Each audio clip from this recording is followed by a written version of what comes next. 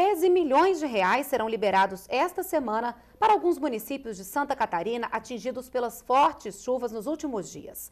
As cidades beneficiadas foram escolhidas de acordo com a dimensão dos estragos e com a quantidade de desabrigados e desalojados. Segundo a Secretaria de Defesa Civil de Santa Catarina, as enchentes no estado atingiram mais de 90 municípios e afetaram quase um milhão de pessoas. E o Ministério da Saúde vai enviar nesta madrugada uma tonelada e meia de medicamentos para o estado.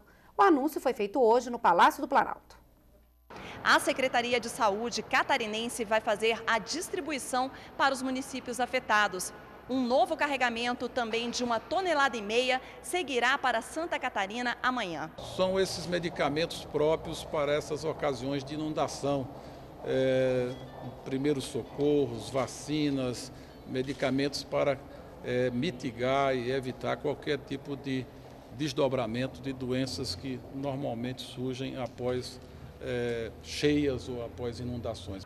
O Ministério da Integração também libera nesta terça-feira uma verba extra emergencial de 13 milhões de reais para o Estado e para 19 municípios para dar mais transparência ao processo e evitar a demora na liberação do dinheiro, o repasse será feito por meio do cartão de pagamento de defesa civil para cada prefeitura. Esses recursos são voltados para a compra de medicamentos, alimentos, é, aluguel social, é, compra de combustível.